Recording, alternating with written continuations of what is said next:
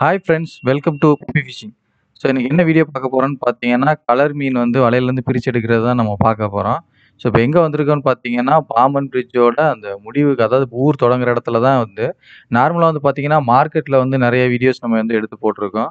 So இந்த area வந்து இது வரைக்கும் நம்ம கவர் பண்ணல. ஸோ இன்றைக்கி தான் ஃபஸ்ட் டைம் வந்து வந்திருக்கோம். அதே மாதிரி இந்த ஏரியாவில் அதிகமாக வந்து வலையை வந்து கழிக்கவும் மாட்டாங்க.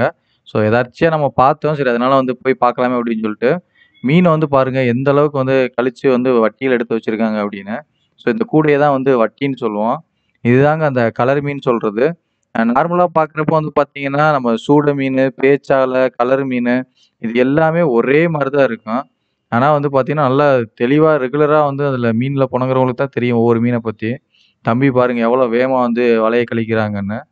ஃபுல்லாக கையில் வந்து க்ளவ் போட்டிருக்காப்புல அறுத்துறக்கூடாதுங்கிறதுக்காக இங்கே பாருங்கள் கடல் அவ்வளோ சூப்பராக இருக்குங்க. பார்க்கறதுக்கே உண்மையிலே வேறு லெவலுங்க. இங்கே பாருங்கள் வலையில் வந்து எதுக்காக வந்து பார்த்தீங்கன்னா இந்த மாதிரி கரையில் வச்சு கழிப்பாங்கன்னா மற்ற மீன்கள்லாம் வந்து முடிஞ்ச அளவுக்கு பெரிய பெரிய சைஸ் மீன்லாம் ஈஸியாக வந்து வலையிலேருந்து எடுத்துடலாங்க இந்த மீன் வந்து பார்த்தீங்கன்னா நிறையா அதாவது என்ன சொல்கிறது பயங்கர கிலோ கணக்கில் வந்து வரும் வலையில். அப்படிங்கிற பட்சத்தில் வந்து நம்ம கடலில் வச்சே வந்து இந்த மீனை வந்து நம்ம பிரித்து எடுக்க முடியாது. அதனால தான் கொண்டு வந்து கரையில் வச்சு எடுப்பாங்க. ஸோ இதுதான் வந்து நம்மளோட பாமன் கரைன்னு சொல்கிறது பாமாவில் இங்கெல்லாம் முன்னாடி வந்து நாங்கள் சின்ன வயசாக இருக்கும்போது வந்து பார்த்தீங்கன்னா நிறையா வீடுகள் இருக்கும். நிறையா மக்கள் ஜனத்தொகை இருந்துச்சு. ஒரு கூட்டமே இருந்துச்சு. இப்போ நீங்கள் பார்த்துட்டு இருக்கிற இடம் வரைக்குமே வந்து வீடு இருந்துச்சு.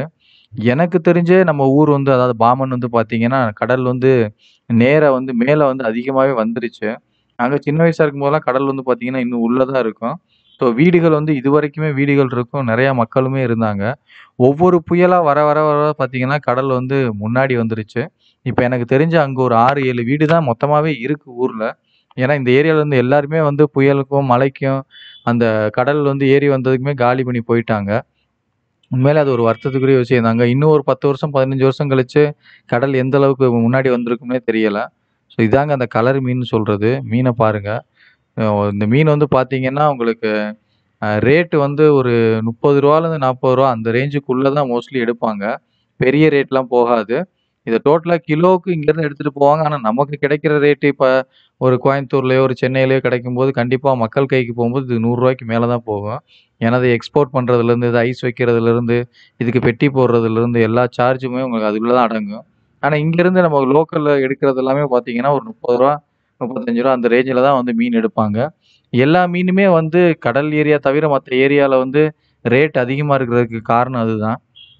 அவங்க வந்து இங்கே வந்து மீனோட ரேட்டை விசாரிக்கும் போது இவ்வளோ கம்மியாக இருக்கே எங்கள் ஊர்லலாம் அதிகமாக இருக்கே அப்படின்னு சொல்லி அவங்க நினைக்கிறாங்க. காரணம் அதுதான். இங்கேருந்து மீனை எடுத்து மறுபடியும் அதுக்கு வந்து ஐஸ் ப்ரிப்பரேஷன் பண்ணி அதை ஒரு பாக்ஸ் போட்டு அந்த பாக்ஸுக்கு கண்டிப்பாக செலாட்டேப் அந்த மாதிரி விஷயங்கள் எல்லாம் செலவு பண்ணி கம்ப்ளீட்டாக பேக்கிங் பண்ணி அதை ஒரு வண்டியில் ஏற்றி அந்த வண்டியை வந்து டீசல் செலவோ பெட்ரோல் செலவோ எல்லாமே அந்த மீனுக்கு உள்ளதாங்க அடங்கும் அந்த ரேட்டு அதனால தான் வந்து பார்த்தீங்கன்னா உங்களுக்கு மீன் வந்து எவ்வளோ தொலைக்கு ட்ராவல் ஆகி வருதோ அந்த அளவுக்கு வந்து ரேட் உங்களுக்கு கூட வந்துக்கிட்டே இருக்கும். இங்கே பாருங்கள் போட்டு பாருங்கள் எவ்வளோ எவ்வளோ வலை இருக்குது பாருங்கள் அந்த வலை ஃபுல்லாக மீன் இருக்குங்க. இதை க இதை ஃபுல்லாக பிரித்து எடுக்கிறதுக்கே வந்து பார்த்தீங்கன்னா ஒரு ரெண்டு மணி நேரம் மூணு மணி நேரம் டைம் ஆயிரும். கட கட கட கடன்னு பிரிப்பாங்க. முன்னாடிலாம் வந்து பார்த்தீங்கன்னா சின்ன வயசுலலாம் நாங்கள் சூட இந்த மாதிரிலாம் வந்து மீன் பிரித்து எடுக்கும்போது வந்து பார்த்தீங்கன்னா நிறையா மீன் வந்து கடலில் வந்து மோஸ்ட்லி சிதறி போய் கிடக்கும். பெருசாக வந்து ரேட்டு போகாதனால அதிகமாக வந்து மீன் எடுக்க மாட்டாங்க. இந்த கள்ளப்பிராந்து கழுகு அந்த மாதிரி தான் வந்து அதிகமாக கொத்தி எடுத்துகிட்ருக்கும் ஆனால் இப்போல்லாம் வந்து பார்த்தீங்கன்னா நம்ம போட்டு டீசல் ஓடுறதுக்காகவாது அந்த மீனை வந்து வித்தாகணுங்கிறதுனால ம மீனவர்கள் எல்லாருமே ஒரு மீனை கூட மிஸ் பண்ணாமல் எடுத்துடுறாங்க. உண்மையிலே அந்த அளவுக்கு வந்து பார்த்தீங்கன்னா டீசல் இது எல்லாமே ரேட்டு அதிகமாயிட்டே இருக்கனால உண்மையிலே கடலுக்கு போயிட்டு வந்து அந்த நமக்கு லாபம் கிடைக்கிறதே பெரிய விஷயமா தான் இருக்குது ஸோ நம்ம ரெகுலராக வந்து பார்த்தீங்கன்னா நம்ம சேனலில் டெய்லி ஒரு வீடியோஸ் நம்ம அப்டேட் பண்ணிட்டே இருக்கோம். சேனல் இது வரைக்கும் யாராவது சப்ஸ்கிரைப் பண்ணாமல் இருந்தீங்கன்னா மறக்காமல் சப்ஸ்கிரைப் பண்ணுங்கள் நோட்டிஃபிகேஷன் சிம்பிளை எனேபிள் பண்ணி வச்சுக்கோங்க. தேங்க்ஸ் ஃபார் வாட்சிங் பெப்பி ஃபிஷிங்